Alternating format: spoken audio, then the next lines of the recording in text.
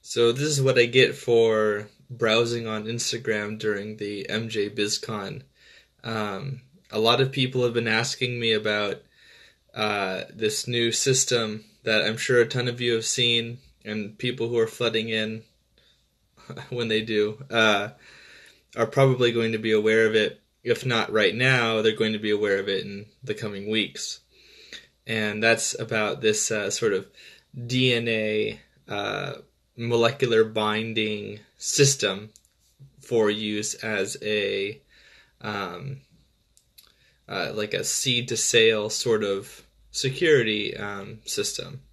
So the idea is that you would spray this, uh, m- you know, molecular substance or DNA or whatever, and then that um, uh, uh, that residue, I guess, binds with the plant or whatever you're trying to bind with. But in this case, they do it for cannabis, but apparent or they're trying to do it for cannabis, but they apparently do it for other things too, as sort of a way to give it a um, uh, sort of a, a, signifier that can be checked later on and uh, down in the process for compliance sake or whatever. now, I decided that I would do a, a, little bit of due diligence before I um, went on live to try to talk about it yeah, Cannabis Gardens is one of such people who uh, asked me about this system, and uh, it piqued my interest. So I thought I would take a little bit of time to go over um, what that even means, uh, because uh, frankly, people are not people are not really aware of how it works, and they are perhaps understandably um, worried about what this could mean and, and, what does it even mean? What do you mean you're spraying DNA? What kind of DNA? Um, no, it's a Jungle Boys video, actually. Uh, Cha Science just re uh, reposted it, I believe. Several people have reposted that video. Apparently, it's getting a crazy amount of attention in a short time span. Um, Spark Industries Washington says or asks, "What is the DNA carrier for a product like this?" Right. So this is the whole reason I have this video, and I'm probably going to answer that question a ton of times as people come online. Um, but here I'm talking about the. Um, so there's the TheraCann, and I don't even know. I don't even know what company this is. I don't know who it is. Um, but I did find this company, which is um, TheraCann with two N's, like cannabis, launches the E the etch biotrace technology. So that's the kind of technology it is. That's the the trademark name, and I mean that's not the time. That's not the kind, but that's the brand name rather. Um, I went to their webpage and I found this um, this little paragraph that sort of explains how it works, and I'm going to just break it down for you. I've already read it. says TheraCann is excited to fully introduce this breakthrough molecular tag and trace technology. Global regulatory bodies and cannabis brands have been limited by their reliance on traditional RFID and stickering systems, said Jason Warnock, Chief Executive Officer of TheraCann International Benchmark Corporation. The combination of TheraCann's integration software and EPCIS standardized blockchain systems through multi-chain ventures, and in parentheses they put DBA, the Tokes platform, with applied DNA science's proven CertainT, and that's a reserved mark, uh, platform creates a safe and secure way to manage the legal supply chain. That's the first paragraph. So already that gives us a little bit of information about um, like who the company is, this particular company, anyways, um, but the second paragraph is the one that gets into a little bit more sciencey detail. So it go on it goes on to say the molecular tags used in the etch biotrace system is considered GRASS, or generally recognized as safe. They are non-GMO, in fact, apparently, said Dr. James Hayward, president and CEO of Applied DNA Sciences. The typical daily diet includes about 100 parts DNA per million parts of food. Orally ingested DNA is hydrolyzed by the pH in the stomach. Our molecular tags are very small, too small to function as genes. Typical tagging levels of use are in parts per billion. levels too small to have any impact on form or function, or the biological properties of cannabis. And then they go on to say the Etch Biotrace patented technology provides true traceability, including the ability to track products from cultivation, extraction, and derivative processing into edibles or other forms that will provide a clear method to eliminate black and gray market products from entering the regulated marketplace worldwide. Okay, so I was curious if this was the case, and when I looked it up, it confirmed my suspicion. They aren't they aren't uh, spraying like full like genomes or anything like that, or, or totally um, completed chains of, of DNA. Uh, what they're what they're applying appears to be um, more like particles, more like parts of a DNA chain that can be that can be applied uh, through some sort of carrier. But as I was as pointed out here, I don't really know what that that is. They don't explain it uh, here, anyways. Um, they do explain that they use a ton less than you would normally consume of DNA um, material. I mean, whatever, you know, I mean, I would be sort of curious to understand whether or not the DNA could somehow be um, like absorbed by certain microbes and things like that. I don't know if there are any um, any sort of safeguards with regards to that. Uh, but you know, I'd have to get more information about how what these even are, what these particles um, even really are, what they're based on, if they're wholly artificial or if they're like based off of like a bacterium or uh, a fungus uh, or um, a virus or a fungus or anything like that, or even plant DNA itself, some sort of plastid. I don't really know. Um, no, no, they're grass, G A R A S which is generally recognized as safe, not grass as in Poaceae, the family of plants. No, the markers are not poisonous or anything like that. That's what that means, grass, right? And um, I'm going to also put this video up on YouTube as well. I might just stick it at the end of my, or the beginning rather, of my other video that I did today. Um, and uh, sort of put this article out in the description so other people can read about it. There's probably more information out there, but a cursory Google search didn't uh, turn up for me anything, but I didn't go into so much detail. Queen of the Night Owls says, I have many, many allergies, so how can they guarantee that I won't um, go into anaphylactic shock or have some other type of allergic reaction? I imagine that they um, guarantee it through um, making sure that the DNA that they use doesn't already trigger known allergies. But again, you can't control for all possible variability. And I am not uh, somebody who's a specialist in allergens or anything like that. So I don't really, I can't really speak to that so much. Cannabis says if it's viral, then they could spray it in veg and it would stay through processing. There you go. So perhaps what it is is a, a viral particle or a um, or something like Agrobacterium tumefaciens, where it can be sort of transgenic and it can, um, for lack of a better term, infect the uh, genetic material and like stay in there with the plant. Perhaps that's how they do it. That's a good point. I really doubt you're going in allergic shock. Yeah, I mean, I don't, I don't really know. I don't think that it would happen. Um, I would imagine that this wouldn't paralyze and, and hurt you. Uh, you know, that is to say, I don't imagine that it would, um, once it's been burned, I don't think that it would affect you in the way that like an allergen might, or that like a different kind of residue would. But I don't know what the filler, I'm filler. I don't know what the carrier is exactly, or if it's all just pure that protein. I don't know. Uh, I really just don't know. Uh, there's too many questions with regards to that. Yeah, they, they were spraying fresh cut plants, so perhaps that's a very important aspect that the the material has to be alive when um, when applying it. I'm getting a request for uh, JPaul 1989 to be in the live video, but I think that if I do that, unfortunately, the video kind of wigs out, and um, I won't always be able to save it, unfortunately. So I think that has to do with the kind of phone that I have.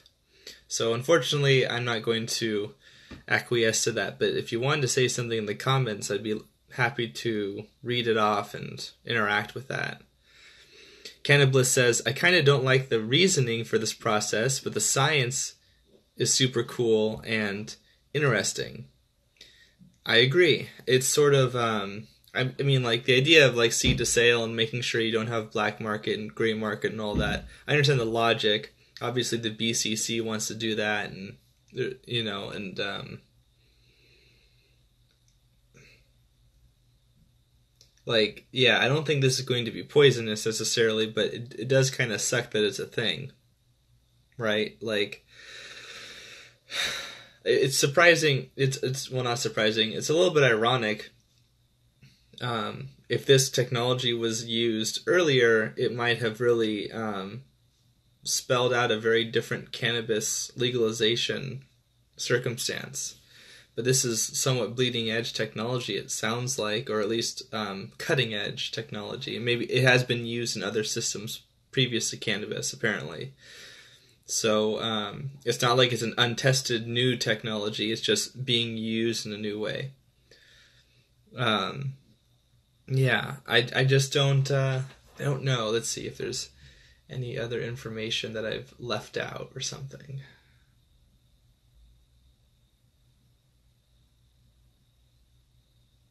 Looks like the company is um, Applied DNA Sciences and is publicly traded, I believe. Uh, yeah. But yeah, it's this etch biotrace technology. So whatever, however they use that, however they do that, is how they're doing it here. It's the same sort of technology, so it's not like they reinvented the wheel just for cannabis. Um, If I look that up, perhaps I can find some more information on how it works. Maybe that would be nice.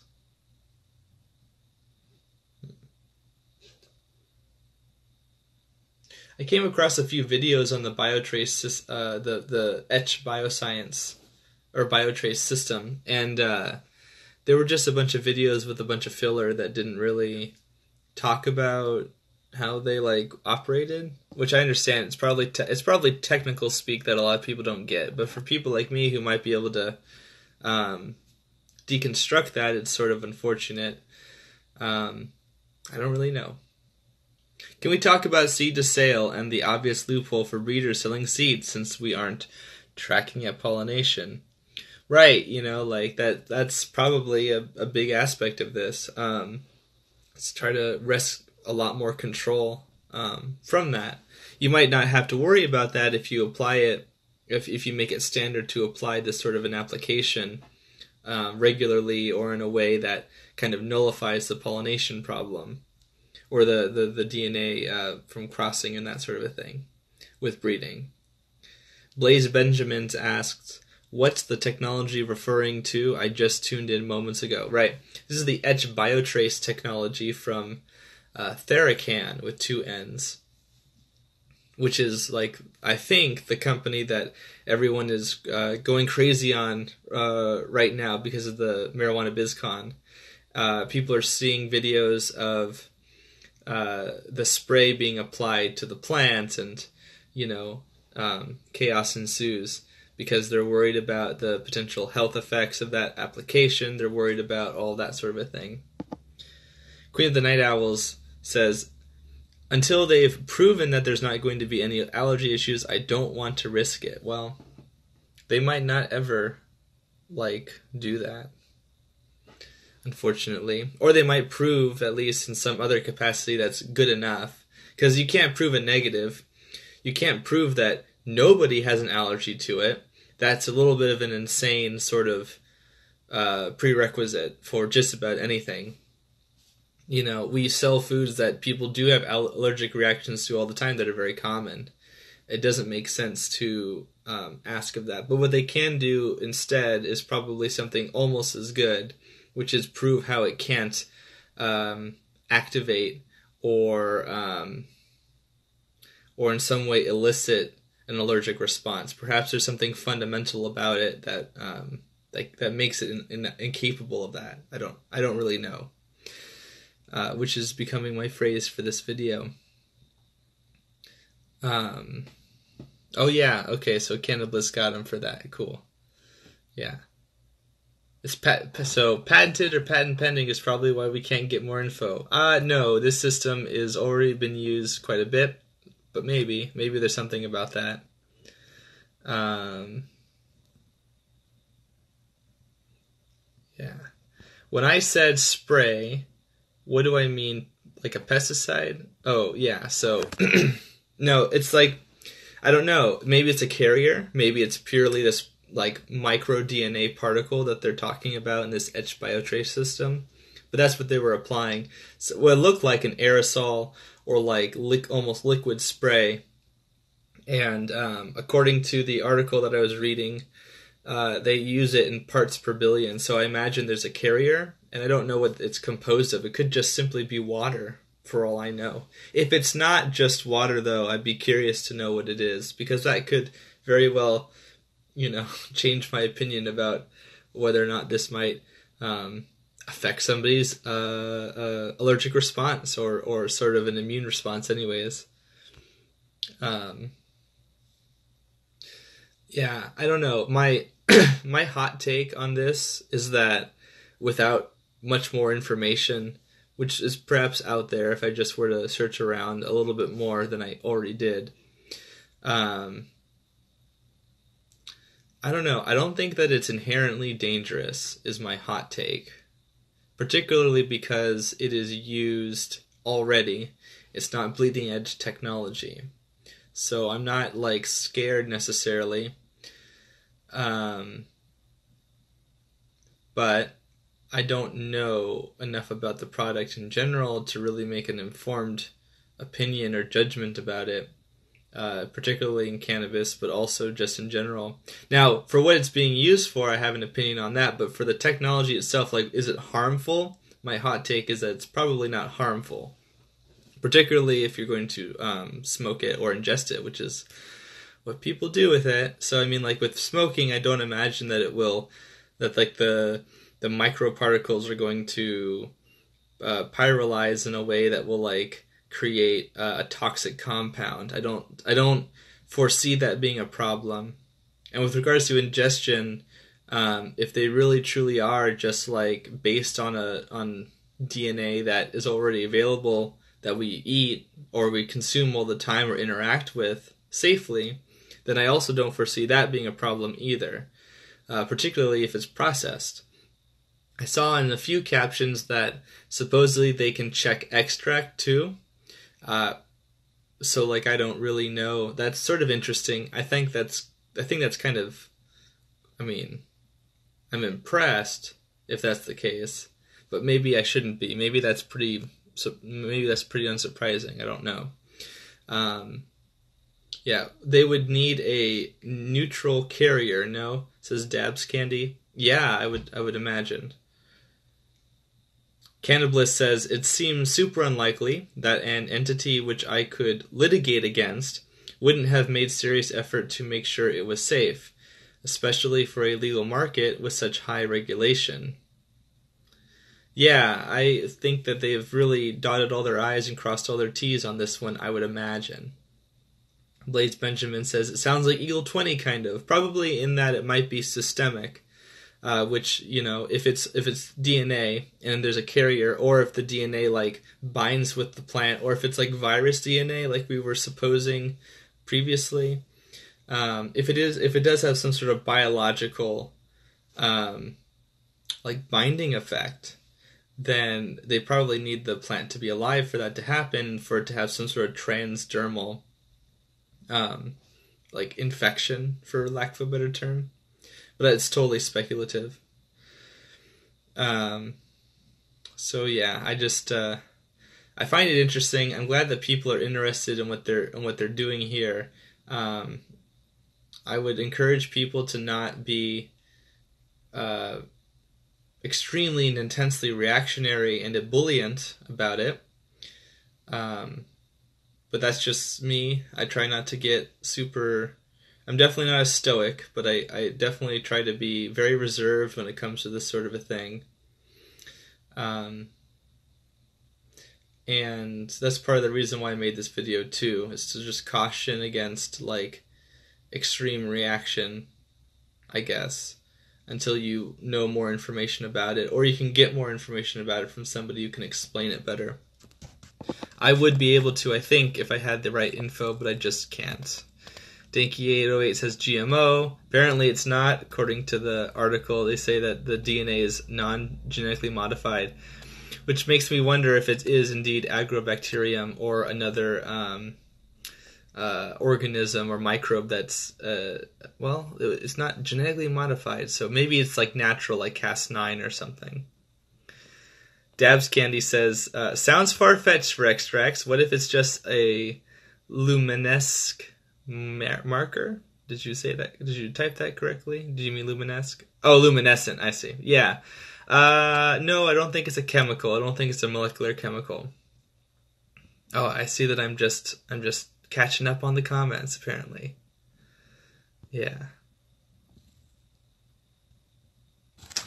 Um, yeah, and at least there's the option, you know, Queen of the Night Owls makes a good point.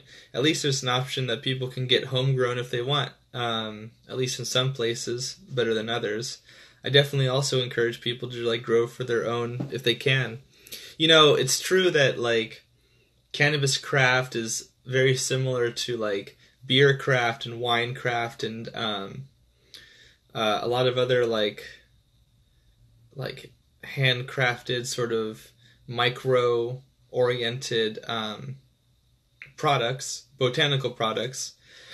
However, um, unlike vintners who have um, grapes that they turn to wine, or people who have barley or other kinds of oats or grains that they can turn into alcohol, um, you know, you need a ton of land to make a sizable amount of wine, and you need a ton of fruit to make beer and alcohol. But with regards to cannabis, you can kind of make a lot in a small space if you're, you know, if you're good enough or if you have everything sort of um, dialed in. So in that case, I think that it's a lot more encouraging for people who can grow by themselves to to do so if they're worried about this sort of a thing. Um, it's a way more it's way more possible for a cannabis grower to grow a, a much better proportion of of a cannabis product per um uh like well per like square foot than like a wine grower somebody wants to drink wine they're gonna have to have a, a whole vine vineyard you know unlike for example with cannabis yeah and and here i've had i have a lovely bouquet of of cannabis comments and yeah.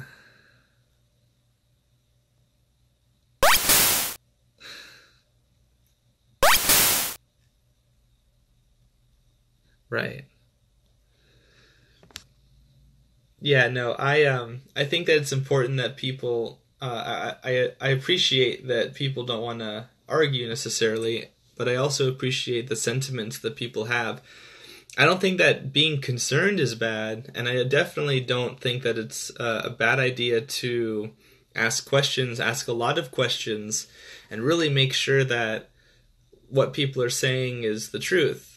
Because certainly people have lied all the time, and you know, with the glyphosate case recently, uh, or with regards to um, well like tobacco for example right? There's tons of there's tons of examples where companies are like oh this is fine and it's not right? So i don't think that's i mean being blind you know blindly following a company's point is not good. But i do think that there are some reasonable sorts of i guess factual appreciations that that people can take and and sort of like metacognate about like mm, maybe maybe this company is not gonna worry about it because they could just get out of any legal case well i don't think so i think they've probably especially since they've already been doing this for a little while um, they probably have a pretty good set of data and they can probably explain a lot of our questions or all of our questions. Um, but again, if you're not like a specialist or, or somebody who can like look at the technical data and information and, and develop a judgment, those are the people that we really rely on to do that sort of a thing.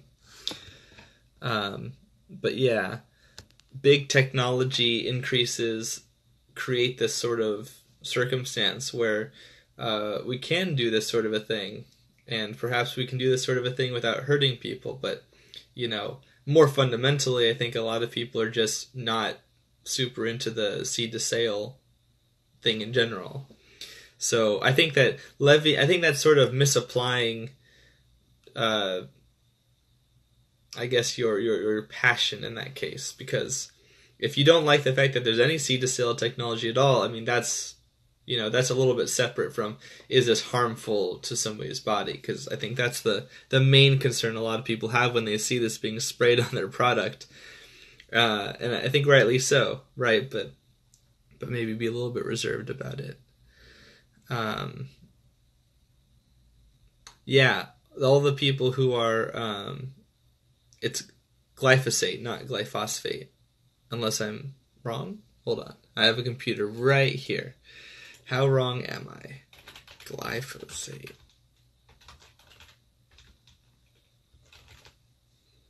Yeah, it's glyphosate, not glyphosate. Right. So, yeah.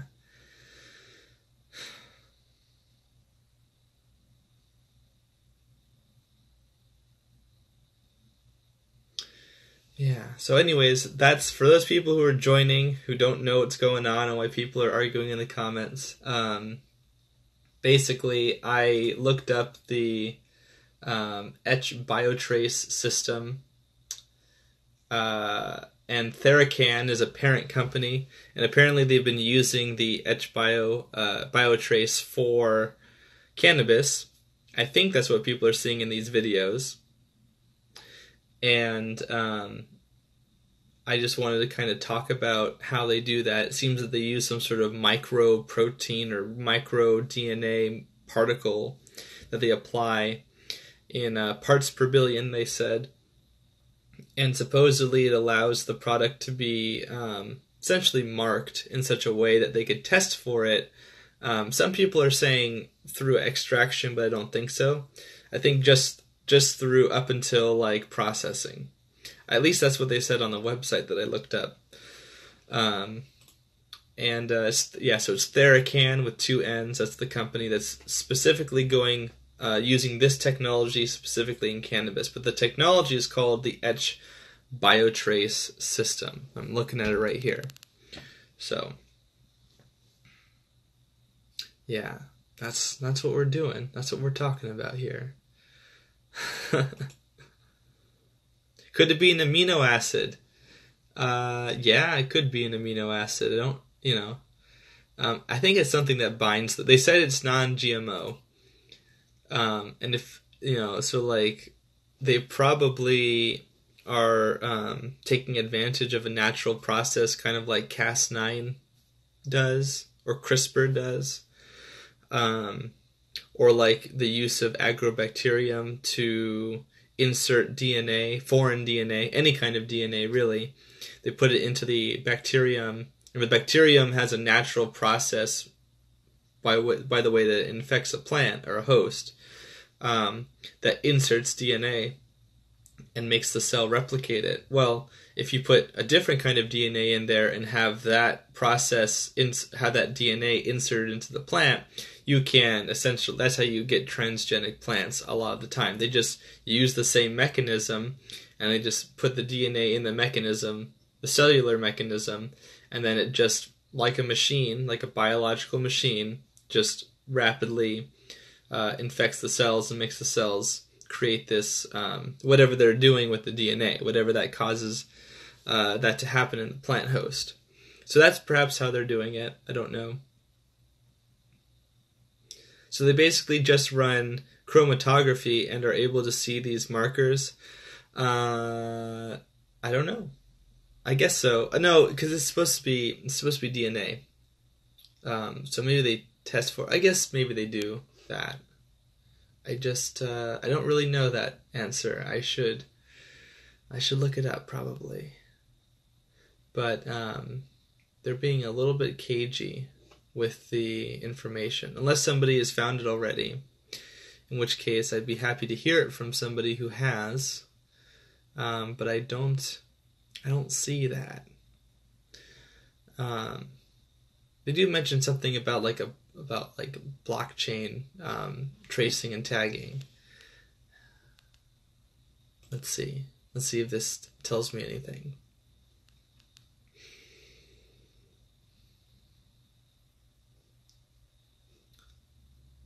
It looks like, yeah, I keep getting this same sort of press release, is what it is.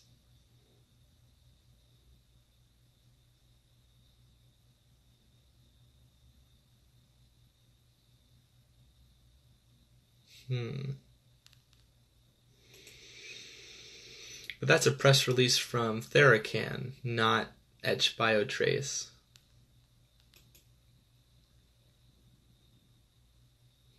And they definitely don't go into detail on their website at all. It's incredibly devoid of any sort of information that would be relevant to this conversation.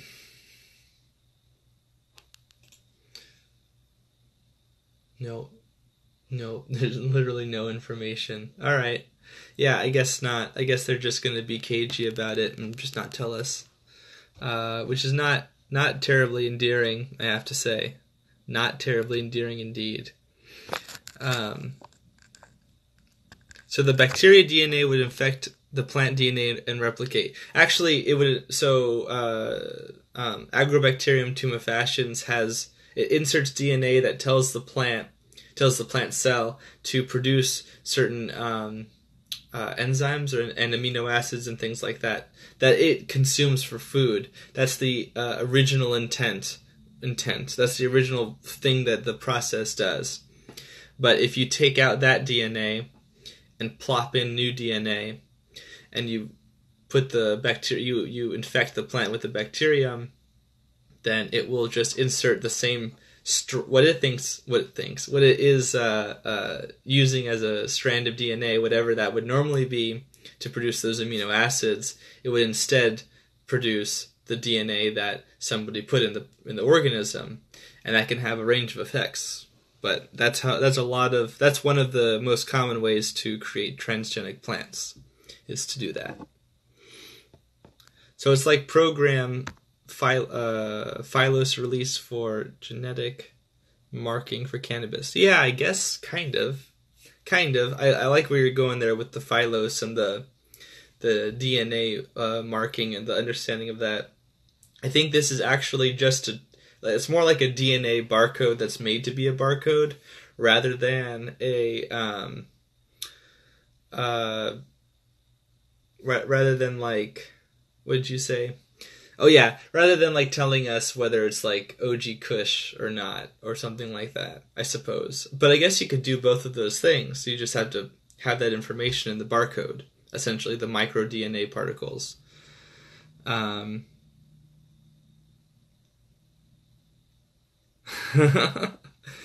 yeah, so uh, what are we talking about? We're talking about the Etch Biotrace system, which it seems to be what uh, a company called TheraCann is using to apply this sort of marker, this DNA barcode, to cannabis plants.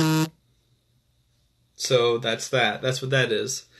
And um, a lot of people are freaking out about it, worrying about it being poisonous potentially, worrying about it being uh, problematic for some reason. For a lot of people, this is the first time they've heard of it. Uh, but apparently, I did a little bit of digging, and it turns out that it's not the first time they've used the, the process, the Etch Biotrace system, but it is the first time they've been using it in cannabis for obvious reasons.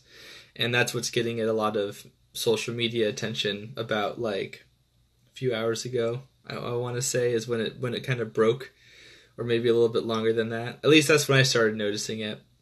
Appreciate the compliment, Alan Blaze. Um, is that to be more strain specific, I assume you mean. What's the intended use? Oh, it's for yeah, it's for seed to sale. It's for understanding. It's basically you spray it on a batch, a batch. You spray it on a, a, a site, a cultivation site, and um, for track and trace. And since cult, I think cultivars are part of track and trace, right? So yeah, you might want to put that information. This is, I don't know, OG Kush, uh, you know, harvested X time, um, or around X time or whatever, and you know, sold at you know, not not sold, but you you can put all this information into this into these uh, DNA particles, and then you spray it on the plant. So because it's biological, there must be some way they can read it that way. Um, it's pretty it's pretty interesting technology to be honest, and apparently they use it in um, in other produce for I guess similar sorts of things. Maybe to make sure that there's a quality control going on, like maybe you can't put like stickers on the plants or the produce necessarily for whatever reason. Um, but you want to make sure that you can track and know where like a specific like maybe maybe if somebody got sick from a pesticide uh, they could take a batch of like cherries or something and they can track oh okay this batch of cherries came from this grower and then they investigate them and find out they're using you know tons of pesticides that they shouldn't be and they get closed down or or something like that. So i think that's what one way you could use that um, that technology in a non-cannabis scenario. And a cannabis scenario, I suppose, you could absolutely 100% know whether or not um, uh, this particular product was grown in a particular place based off of this um, this micro DNA particle that they apply. And now to look at the comments. Dabs Candy says, I've heard it could also be a genetic bark. Oh, yeah, okay. Yeah, to keep from um, companies uh, selling it out in uh, black market sales. I could, yeah, I mean, that's seed to sale. Yeah, that's part of the compliance testing. Yeah, you don't want, I mean, that's part of the deal, right? To make sure that people aren't selling it illegally, that would include the cultivators. So. It's very interesting, but it could definitely be traced back to you if your stuff is in the black market. Exactly, right.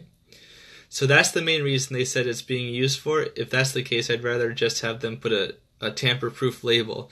Well, it's not, if that was me speculating, but that's the kind of thing you could use it for, um, as I understand the technology to work. Uh, you essentially know where the produce is going so for all of the situations where you would want to know where the produce is from, for example, a poisoning, then you can use this uh, this etch biotrace system. These microparticles are sprayed on the produce, so you know, okay, these Granny Smith apples came from beloved farms, you know, orchard up in wherever, and you know, you can find that out really quickly. You can just you can just take the produce, get it analyzed, come back, you know where it's from. Uh, if it wasn't for how like 1984 it kind of feels to say, uh, I could see like vigilante people, vigilante people. I could see like nerds um, taking this information, or at least getting a way to read the information themselves, and then know where their produce is coming from, and then you could use that information anytime you got sick. Honestly, if the technology democratized, it could be very useful it could be kind of a consumer rights thing because ultimately you want to know where your produce is coming from. And if you suspect that your organic produce has a bunch of pesticides you don't want, or you suspect that your non organic produce has pesticides that you don't want, easy.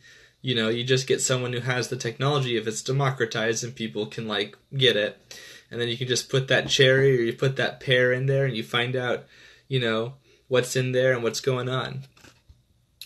Um, yeah, so wouldn't it just be easier to map and register genetics to each company? But you can you can fool that.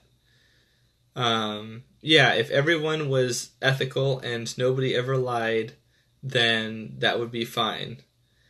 Uh, except that people do that, and this would be one way that you would get uh, you would get rid of that variable of um, human human malice and and human uh, disregard for the law. If you were, because you know, people who are spraying pesticides are probably going to be unscrupulous about a bunch of other things. People spraying them illegally or in a way that they shouldn't be, anyways. Um, if they're using a pesticide that's illegal, they're not. They're going to take matters to like take the like expunge the records and and and make it so that people don't know what's going on. They're not going to keep a ledger of their um, necessarily, anyways. They're not going to keep a ledger of their uh, pesticides they're not supposed to be using, right? So you're right. It might be a little bit easier, but it also, um, you know, and the same thing for this. No, no sort of technology and no sort of um, procedure is foolproof.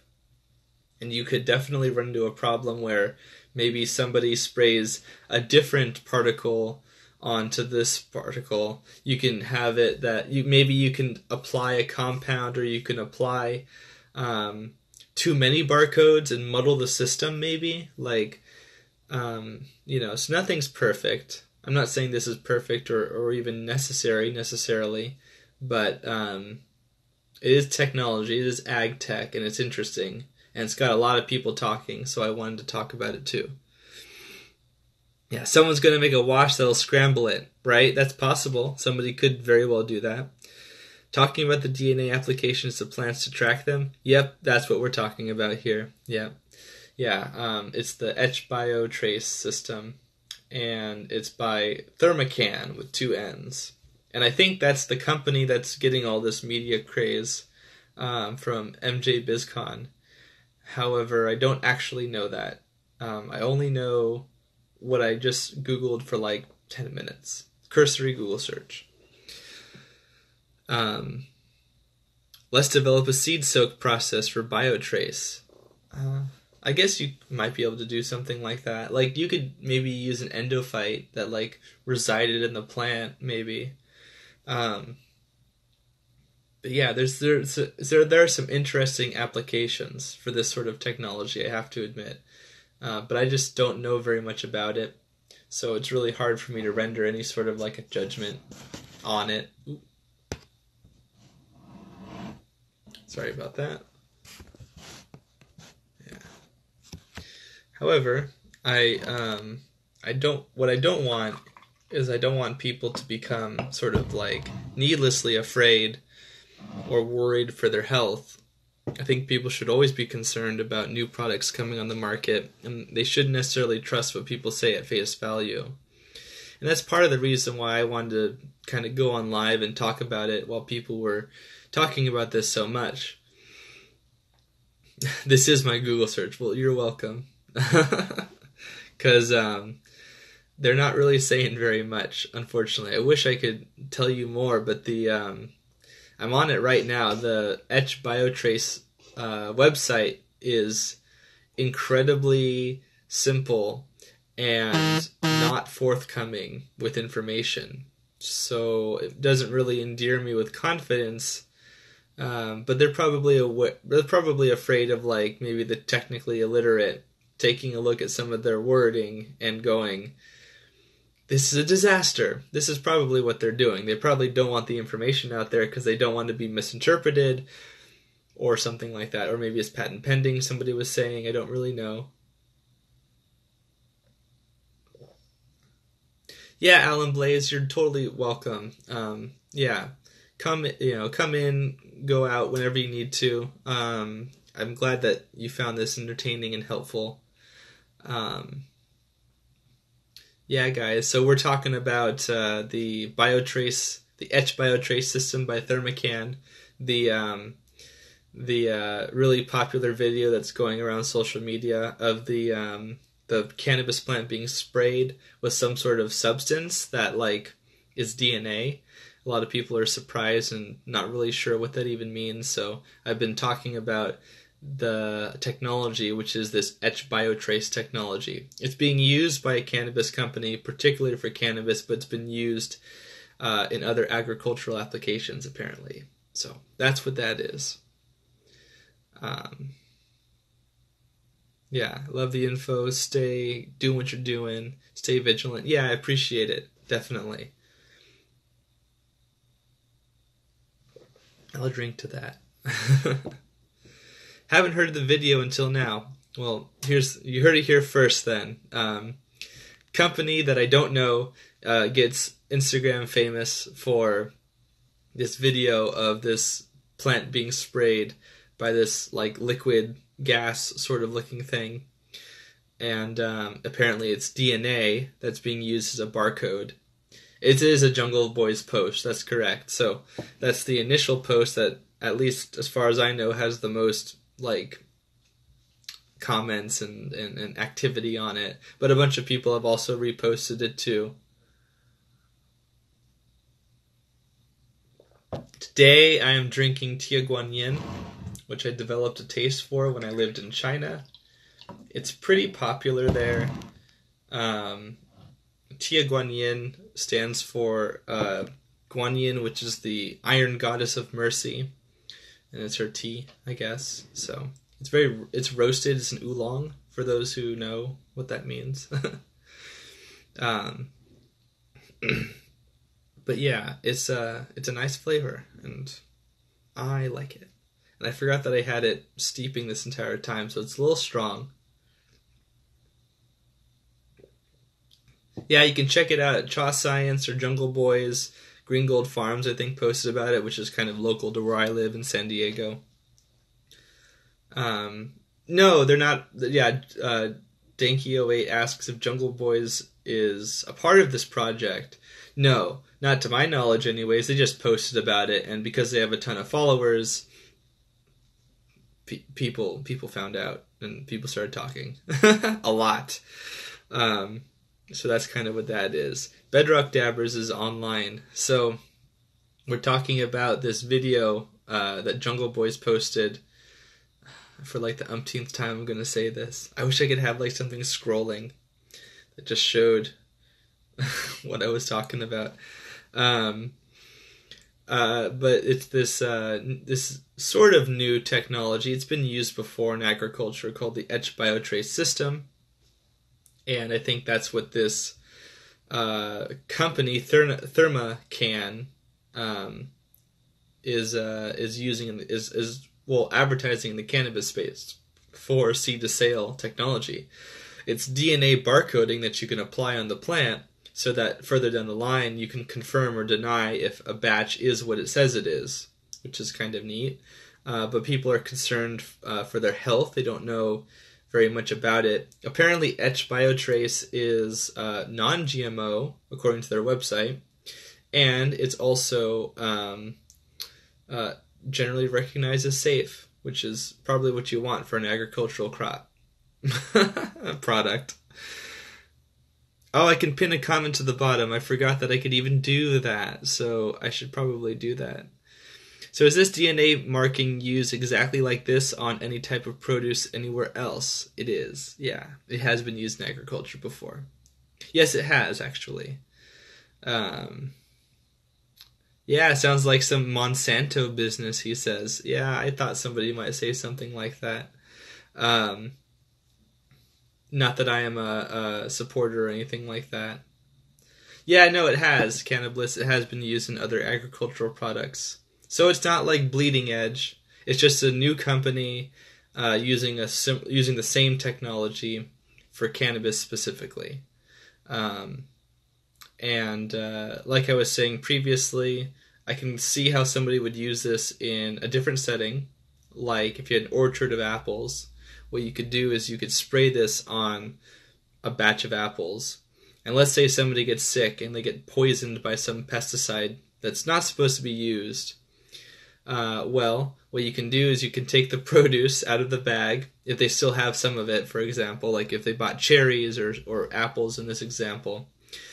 And you could just take part of the produce and you can go and get it tested or analyzed in some way, and you can tell exactly, you know, these Granny Smith apples or these cherries came from, you know, you know, Oak Deer Farms or, or, or, or Connecticut, you know, Happy Grow Orchard or whatever and then they can investigate and find out if they were using illegal pesticides or something like that.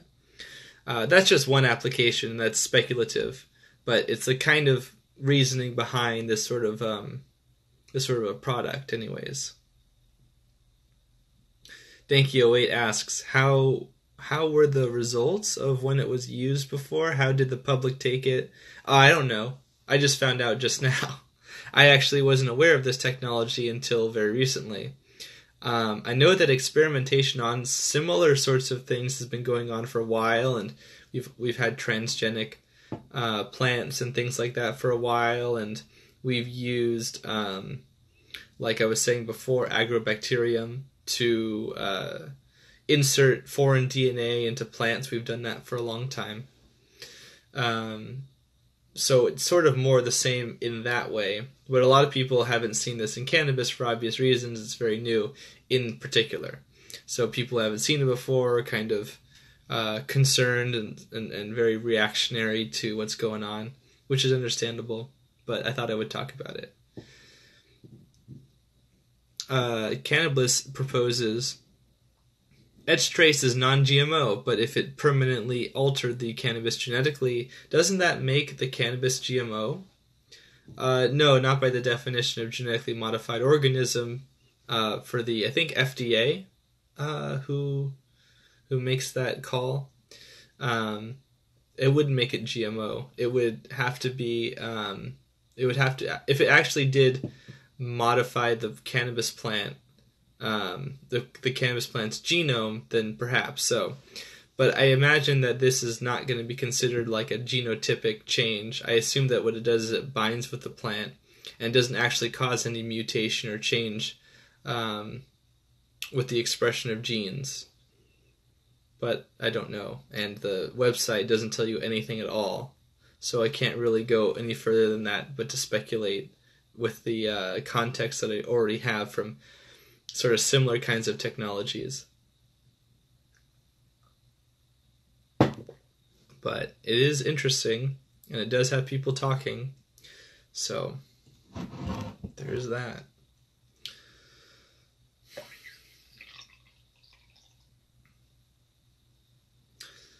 I think.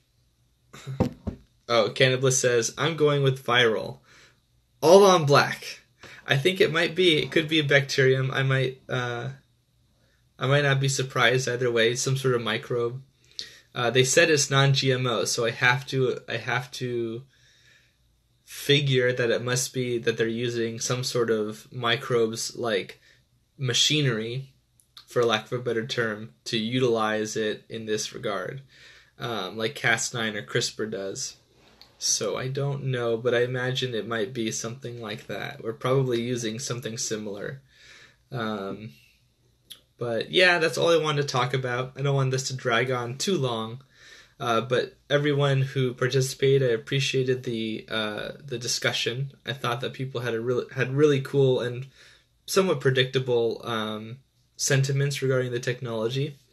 Uh, and I think that it is important for people to, once they find out about this technology, ask a ton of questions, ask all the questions, uh, and uh, find out more. Because I am certainly not being, I'm not able to find out more. Their website is uh, very, very not forthcoming, which is a little bit frustrating. Uh, but my hot take is that I'm not really super concerned, at least for at least in a health um, capacity but I uh, don't know enough about it to really know. So I am I am somewhat concerned as well. Yeah.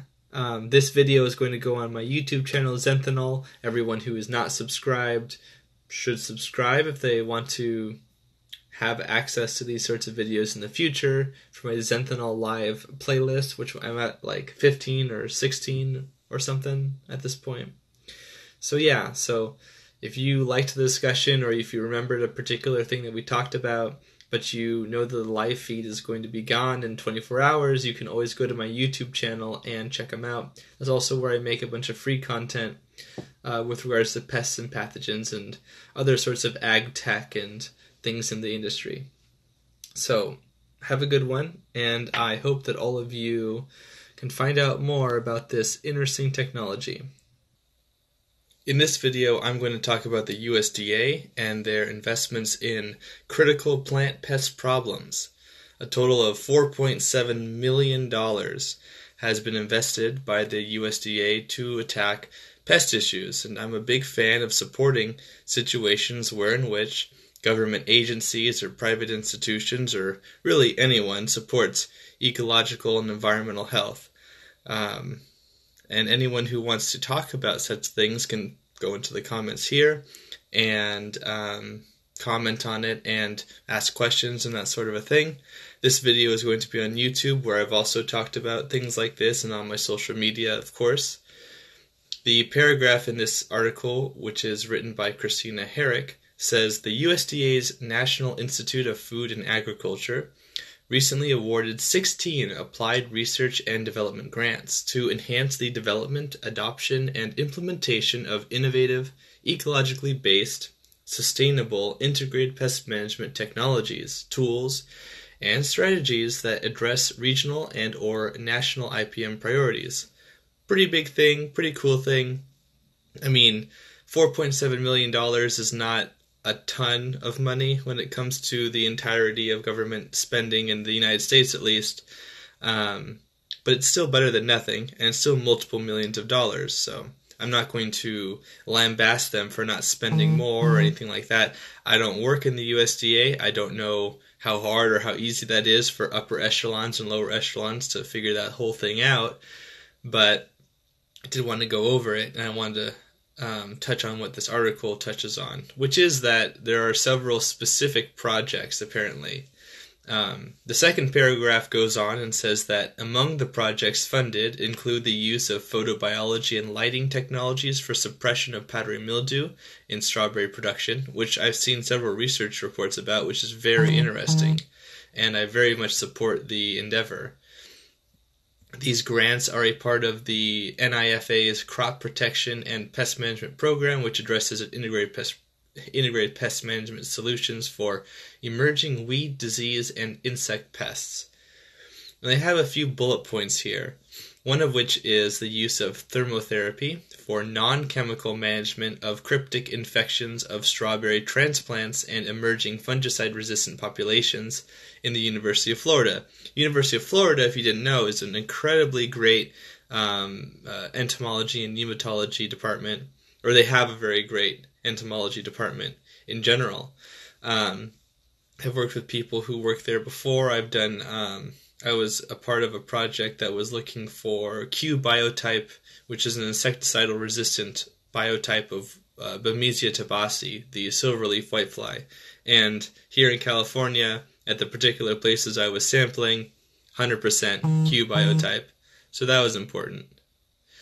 Um, I have a another bullet point here: the multi-state approach to quantifying and managing insecticide resistance in Plutella xylostella, which is the diamondback moth, in cole crops, University of Georgia.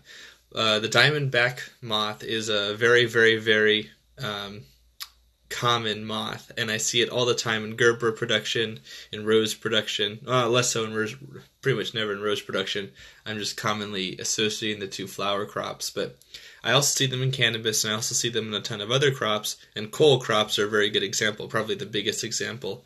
Um, and they're they're a huge problem, and a lot of the uh, a lot of the populations are becoming resistant.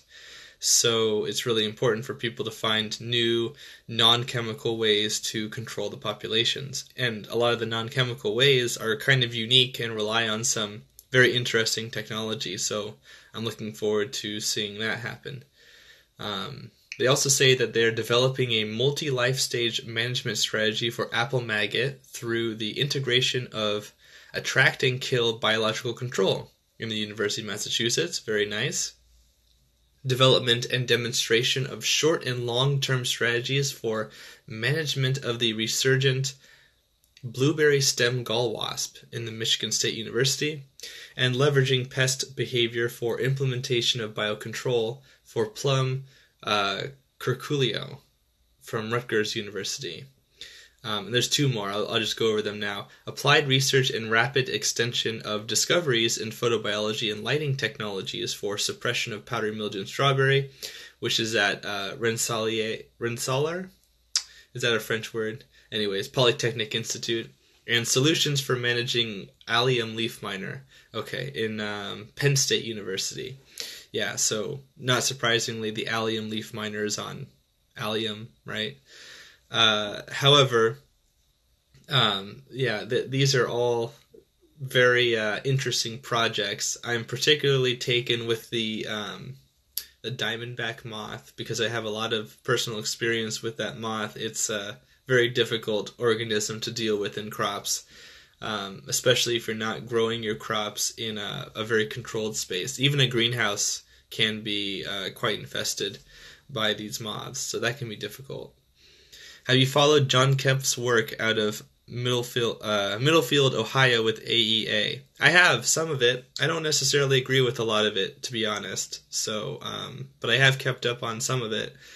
The general sentiment is understandable and appreciable, but um, not everything that John Kempf says is something that I necessarily tout. Um, and there are a few things that are a little woo for me, to be honest. And that's what I have to say about that. But um, regarding this, um, the use of different sorts of, of light and like particularly UVB light has been pretty effective at dealing with powdery mildew and botrytis. And those are really, really, you know, I keep saying this, but they're very difficult and expansive families, or well, the powdery mildew family is difficult to deal with. And botrytis has a ton of different host plants, and we're finding out more and more every um, every couple of years. So honestly, if we can find a really good non-chemical control for the majority of Erysiphales, powdery mildews, and botrytis, that could really usher in a, a, a much better um, agricultural sort of circumstance for cultivators because I think we we probably I don't know, probably more money than is being funneled into these various projects is lost every year on powdery mildew alone, plus botrytis, I'm sure, in crops. Um, I'm getting some comments, so let me uh, let me res- respond to them. Danky808 says wasp or praying mantis could either be used to combat the diamondback moth. Not maybe a parasitic wasp. There are some, I think, but um, praying mantids aren't really great biocontrol agents in general, to be honest. Um, the big reason for that is because a lot of the really bad pests are not attractive to the praying mantis, particularly because they're so small. So a lot of the small pests go unnoticed, obviously, because it's such a large biocontrol organism in general. Um, the other problem with praying mantises is that a lot of them are, um, well, a lot of the Chinese mantises are obviously exotic. So you have that ecological environmentalism um, issue that if you care more about that, then you don't want to really support it. If you don't care about it as much, you're going to buy them. But honestly, praying mantises are only great against like maybe I don't know moths, in my opinion, in the adult form, or maybe some caterpillars or something like that. Some big organisms. I'm not saying that they can't be helpful in in in some cases. It's just that in general, I don't find them very attractive as biocontrol agents for those reasons. Um, they just don't tend to control what is most commonly a big issue. Um, IACO Ryan or IACO Ryan, you'll have to correct me on that, um, asks about plant secondary metabolites and just kind of says that as pest management. I see, which are sap, which are saprophytic fungi that enter weak or incomplete cells. Is it possible to build healthier plants that are resistant? Um, there are a lot of there's a lot to unpack in those four or five uh, statements here. Um, I think that secondary metabolites can be used effectively in IPM, and in fact, um, though none of these particular projects talk about it, I do know there are companies that are looking to use terpenes, for example, and other plant secondary metabolites. In fact, there are some products that are already out there that sort of um, they'll operate on the immune system of the plant and that's great but if you're already dealing with a pathogen that's able to overmatch or defeat those defenses making them stronger might not be helpful because if the pathogen can simply upregulate a few genes and nullify that or totally circumvent it, then you're really not putting a lot of energy in, and the immune system is very energy intensive for plants. I mean, there's different aspects, but like the um, induced immune responses in plants are, uh, is very energy intensive. So it's not always the smartest move to do that, and you might be sacrificing uh, yield and productivity and growth in a way that you don't have to unnecessarily by using those um, those controls in the wrong way.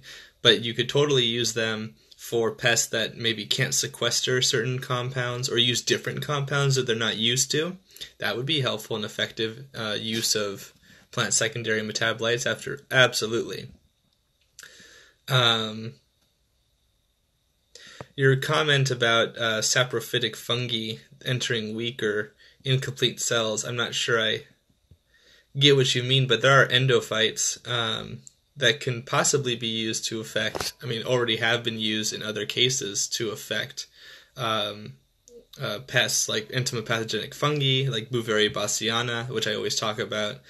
Um, those are uh, well that species is facultatively endophytic. So sometimes it's endophytic sometimes it's not and there's different reasons for that we don't know all the reasons for it. Um, but i think that there is something to be said of the for the use of microbials um, specifically endophytes in that manner. Very interesting very cool concepts uh, that don't really that aren't really traditional, or rather that we don't have a lot of um, history utilizing effectively. But now with with greater understanding and comprehension of the very minute details of ecology, we can do that sort of a thing. Dinky08 says. I've been seeing people use the UV lights nowadays, but nobody could say how long the plants or infected areas need to be exposed to the light for it to actually work. Well, I do, I have um, at least posted, perhaps even made. I'm not even remembering if I made a video on the subject, but it, I should, even if I have already. Um, I've definitely posted about UVB light in particular being used against um, spider mites, powdery mildew, and botrytis. And the amount of contact exposure time, depending on the intensity of the of the ultraviolet light, is very low. It's very low. It's like in some cases, it's like less than a minute, I feel like, or maybe only a few minutes, if I remember the research right. And we're talking for like a an 80 or like a 90% um, rate of uh, of kill, like a mortality rate. It's it's pretty va- it's pretty good. If you dial in the specifics, um, they're finding in research reports at least that that under those conditions, those specific conditions, they can be very effective but they aren't using like UV wands or anything like that typically in these experiments that I've seen, that I've re- that I've looked at.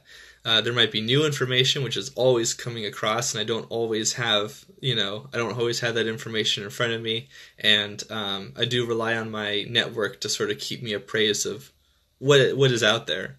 Um, but UV light uh, is something that I'm very excited for if used properly and not used as a gimmick, like biocontrols were often considered for a very long time. I don't want that to happen. I really hope that marketing people who are unscrupulous and utilize UV light and other other sorts of bleeding edge technologies in an ineffective way will make people not want to use them at all. That would be unfortunate. Um, oh, okay. So the point about saprophytic phytic fungi. Yeah, so um, I mean, powdery mildew is an obligate uh, biotroph, and botrytis is a necrotroph, so that's true. Um, you ask if it's ATP intensive, and um, I mean, yeah, it's energy and it's energy intensive. It requires a lot of um, uh, of the production of I guess the production of energy, right? ATP. I guess you could say that. I don't know if like metabolism necessarily increases in all cases. It's kind of a complex like process and it's a little different for different plants, of course. When I say immune response is energy intensive, do I mean ATP or phospholipid? No, I mean generally speaking, it's it's a process that requires a lot of a lot of built up energy. And if a plant in for example, if a plant is um, is one that has a lot of storage of energy, or stores a lot of energy in like a tuber or a crom or something like, or a corm, I should say, not a crom, a corm or something like that.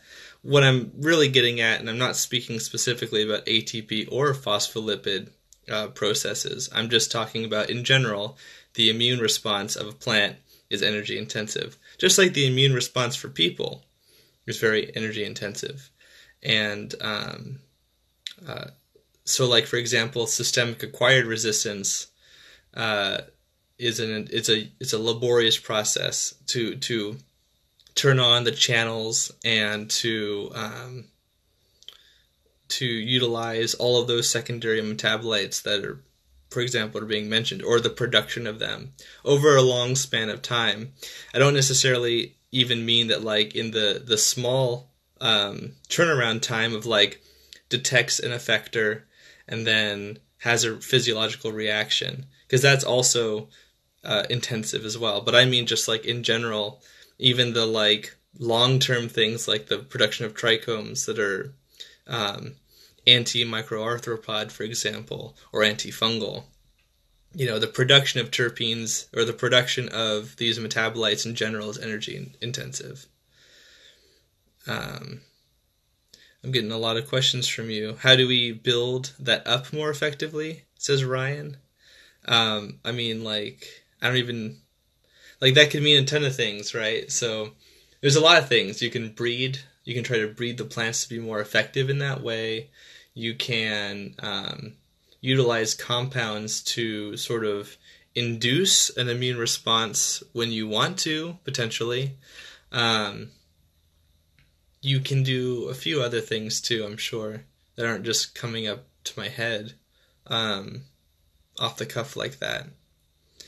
Um, yeah, well, I'm glad that you love this, Ryan. Uh, it's a really complex topic of conversation, and it's a very, um, I guess you could say, it's a it's a topic of conversation that over time we become we become aware of how much we don't know, right? Like, uh, it's hard to talk in generalities and make blanket statements, um, partly because uh, different different species of plants can be so different from each other, even ones in the same genus, and also um, it kind of depends on the context that you're talking about too. So I appreciate the questions always, and I really do appreciate the enthusiasm that people have when they come onto these live feeds. And I'd love to talk more about it if you had more specific questions reg- regarding the immune system of plants. But it is hard to make sort of generaliz- generalizations for that reason. And I, um, I am loath to say the wrong thing on the internet and have it posted and have millions of people be like, no, that's wrong, blah, blah, blah. It could even be a grammatical mistake on my part, or maybe not what I intended to say. Um, you know, because I'm kind of talking off the cuff here and responding to questions. However, um, it is something that I wish a lot more people had respect for.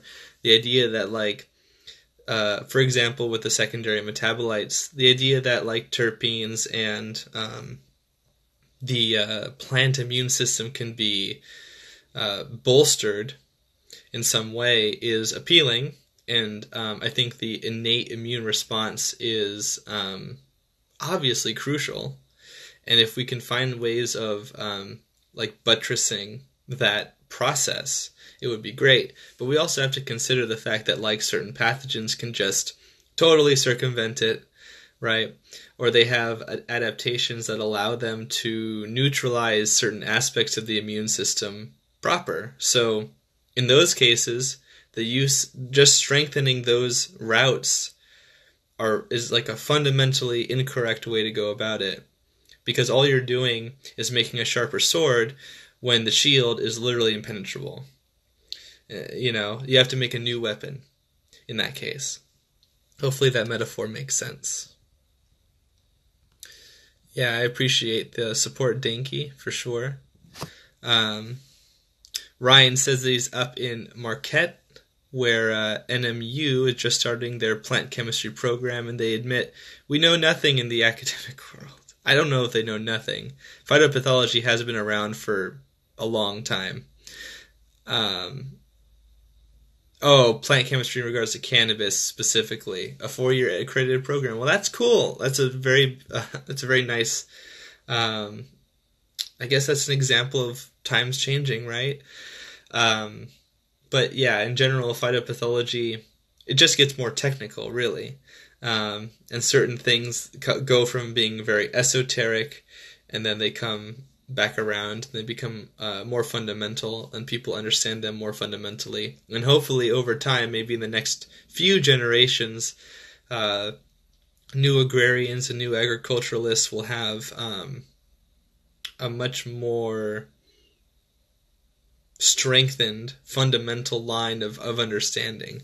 But there's always going to be new people, right, who don't know any of those things. And there's always going to be older people who are maybe on the bleeding edge of new information. So we're always going to have that mixture of people.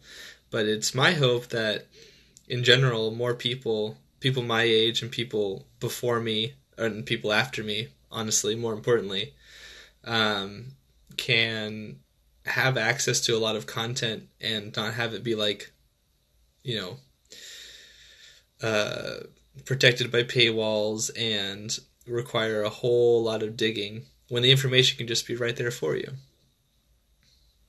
Oh, and Ryan says he uh, worked for the University of Florida doing organic strawberry research for Driscoll's. And the doctoral students didn't know Jack when it came to this stuff, to immune stuff. Well, I mean, doctoral programs are pretty specific. Um, I know somebody who recently told me that they uh, and they work in agriculture and they work in like pathology or something, and they just learned that like thrips is plural and singular, and I'm like, how did you? How did you live? How did you live and breathe that work for like literally years, and never find that out? So sometimes I'm always surprised that people don't know. I mean, even as insulated as I am, and as much as I try to like remember that I'm a bug nerd. I'm a plant physiology nerd, and um, things that are basic for me are not going to be basic for everyone. But still, that came across as like sort of deficient. But everyone has different experiences too, and maybe they were just more specialized in different aspects of their program. It's hard to really make a judgment statement. Um, but yeah, so I mean, I'm glad, honestly, I'm glad that more people are going into it, or at least I, I hope that more people will be going into it. It's definitely a discipline that is not um, currently catered to very much. Um, Danky asks, but how many different ways or methods can we make that are staying the that are staying the somewhat natural organic path until they have to turn to chemicals made of made in a lab like they usually do? seems like most pests nowadays that are in the spotlight for farmers or the home grower are all building a tolerance to what's currently available to use. Well, all right, well, like the average gardener probably has very little um, understanding of like plant physiology and you know subsequently probably even less about pest physiology right so like, and you know, the products that people buy for like the average gardener who doesn't really care about those sorts of things, um, they're not really. They're looking for simple. They want a simple solution that is cheap. That's like the goal, right? I don't think that's I don't think that's a, a very controversial statement to make. So when it comes to marketing for that or when it comes to producing a product that is that it's usually a chemical solution for that reason and no you know you maybe make it a little bit less uh, strong or you sell a little bit less of it or something like that um, but ultimately yeah like uh, there are other ways that people could defend their plants. There's other ways that people i mean if we wanted to be really if we wanted to really get to if we want to consider all of everything when it comes to plant cultivation for the average gardener some people just shouldn't have gardens or at least certain kinds of plants in certain areas. You know like if you wanted to be really truly ecologically whatever that means you know ecologically beneficial or have the least you know the smallest adverse footprint or whatever in some cases, you know, it doesn't make sense to have a farm in certain places.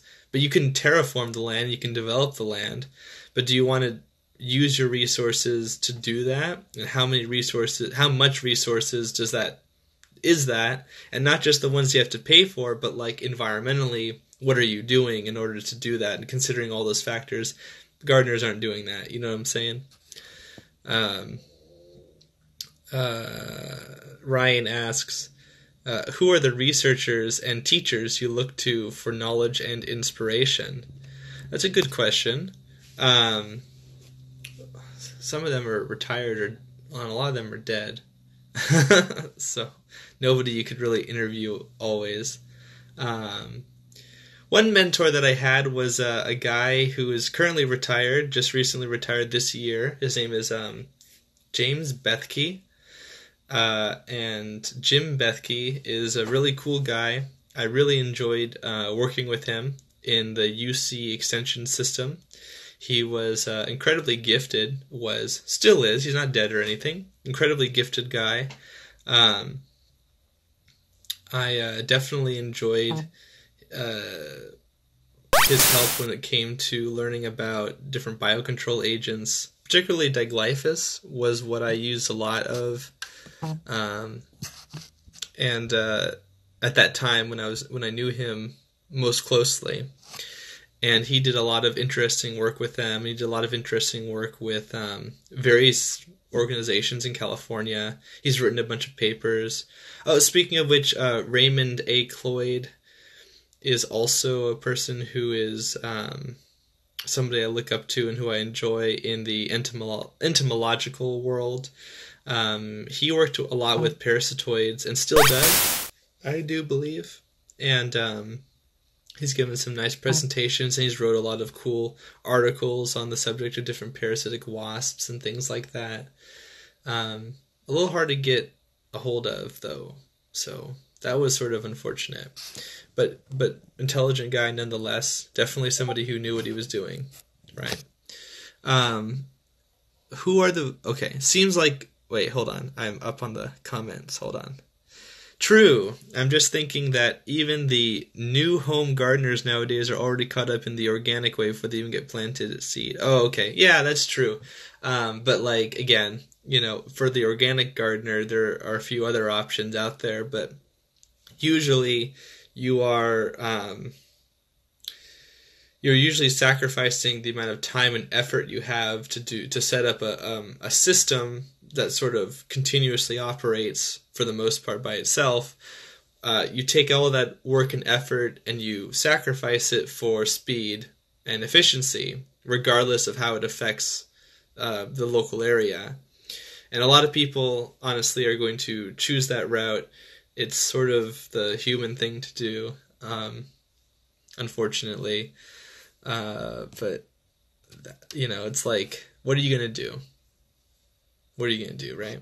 Like, you're gonna tell people, you're gonna tell entire industry of people that like what they're doing is wrong or bad or or whatever. It might it might make some people, you know, you might be able to convince some people, but I, I do feel like there's a certain level of hopelessness when it comes to convincing people out of the things that they like and the amount of effort and time people want to take to educate and re-educate folks.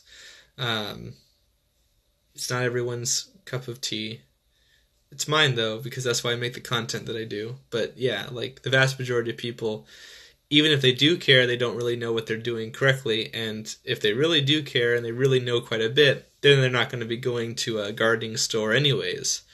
So you do run into that complication as well. Unfortunately. Yeah, so you're very welcome for the uh, answers, and I really appreciate the questions for sure. Um, it has has some tangential relationship to what I was talking about too, so it all works out. but yeah, I mean, you know, if the USDA and in general, if the government spent a lot more time or a little bit more uh, money, I would say, um, investing in agriculture, investing in the new generation of people. I mean, and they do. I don't want anyone from the agricultural, uh, you know, any agricultural company or anyone coming in saying that they don't do that already because they do. They do. Um, obviously, this is a great example. Four point seven million dollars. You know, two tomahawk missiles. No, I'm just kidding. It's more than that. But you know where I'm getting with that is that like we could certainly up the ante quite a bit. And I and also I'm biased because I live in California. California is a pretty big agricultural sort of supercenter, um, which I didn't have an appreciation for when I was growing up. I thought, oh, the thing, and people have probably heard me say this story a bunch of times at this point, but growing up, being passionate about plants and insects and being kind of a naturalist, um, you know, I thought, oh man, nobody's going to care about that. So I'll just join the army, which I didn't actually end up doing.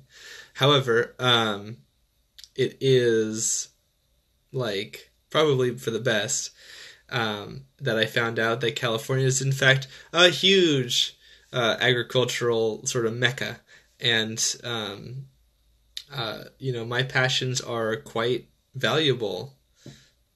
So it kind of worked out that way. If I was like in the middle of nowhere and nobody grew anything, which is not typically the case, but you know, then maybe I'd have a different situation. But luckily, everything kind of worked out. There was sort of some, I guess, birthplace t- determinism there. Um, perhaps I was influenced by all of the interesting and, and, and more like health conscious media and sort of culture surrounding California and Southern California in general. So, gigantic organic, yo, yo to you too. Does anyone else have any like questions regarding that sort of subject since we're kind of on that topic, for example? I mean, um, the idea about, I mean, the concept of the plant immune system is very complex, and the interaction between pests and pathogens is necessarily complex as well. And I do think that with greater and greater um, technological aplomb, we will be able to like do some really really novel things. I mean, that's very uh, that's not a very like articulate point to make, but it, but it's definitely true. As our technological and scientific understanding of the plant physiology increases, what we can and cannot do will also increase necessarily. And and we might find that some things are not as great to do, or we might find that it would be uh, a much better thing to do to move this route instead of that route, or it's less economical to do the one thing over the other, and you know that's that sort of thing kind of coalesces as that information becomes more nascent. Yeah, so that's definitely true. But yeah, I'm, I'm excited. That was kind of the the whole point of this video. I wanted to do a live feed video on um, on kind of this article and subject in general. So, you know, Ace Been Sex is here finally. Um, looking for you always have good questions and comments. So you do have something, you're just tuning in. So um, we were talking about the um, this growing produce article by Christina Herrick um, regarding the investment of 4.7 million dollars to address critical plant pest problems. That's what the title says. And I was particularly taken for all the for all you who don't know, you know, you now know that this video is going on my YouTube channel, Zenthanol. And um, if I. I don't think in this video I will be doing much editing with regards to some of the topics we were talking about, but I will mention the article and I will post it up there so you can see what I was talking about and investigate it yourself. But all these comments, all this interaction, this is going to go up on YouTube, so um, I'm warning you now. but uh, people tend to really enjoy that, and they tend to have the like they tend to appreciate the like the like community interaction. So um, that's what I get a lot out of this as well. Yeah, no. So for you guys who are joining late, it's like I don't want to continue to say it over and over again, but um, you know, I do want to make sure that people are aware of it. Um, I do typically, you know, mention people's like screen names, and I do typically like um, respond to people in kind. So like, you know, just just know that, you know, and know that you have a face to protect, perhaps, and maybe don't be rude. I haven't had a problem with really rude people at all, so. Um, but I know it happens eventually, so I'm just getting used to it now, right? Um, but yeah, I, I really enjoy the um, the level of enthusiasm. Um, I did recently pass 5,000 followers on Instagram, so that'll probably be my high water mark. Maybe not. Hopefully not, right? I'm just being facetious. I do think that the level of enthusiasm is just increasing and increasing every year, and more and more people that I interact with that are interested in this sort of a thing ask me some really great, really cool questions, and I definitely appreciate the amount of positive feedback I've gotten from people. I was not expecting the kind of feedback that I get. All these people just making memes, making funny little images, um, you know, and making getting like hundreds of thousands of, of, of followers and people just posting random stuff that might not even be truth. I mean, epistemologically truthful.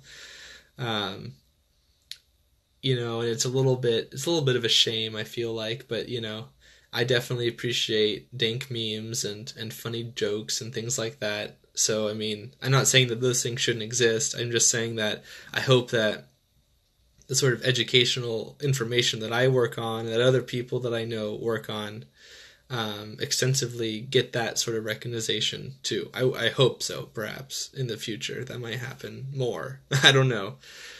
Actually, going back to the question that was asked before about people that I appreciate, and books, websites, um, that sort of a thing. I mentioned, uh, you know, a former mentor of mine, Jim Bethke. I really liked him. Um, I like uh, Raymond Cloyd. I mentioned as well. Good academic um, examples. Uh, people who worked in extension and other sorts of things and have, have contributed to the academic literature on pests and pathogens. Um, yeah, people who learn will hopefully do better, and I hope that like fundamentally, like what is considered acceptable and normal, like in 2018, might be here, and maybe in 2032 might be up here or up here, you know. And then so basically, people will generally come in and have a lot more information, a lot more succinct information, because it's always it can always get technical, but if you can simplify it basically down and we have like a more uh, unified understanding of like plant physiology uh-huh. or or pest pathogens or whatever, we can do that. But I think I'm gonna go here. So um, appreciate all of it, and I will talk to you all later. This will be on YouTube, so look out for it on Zenthanol.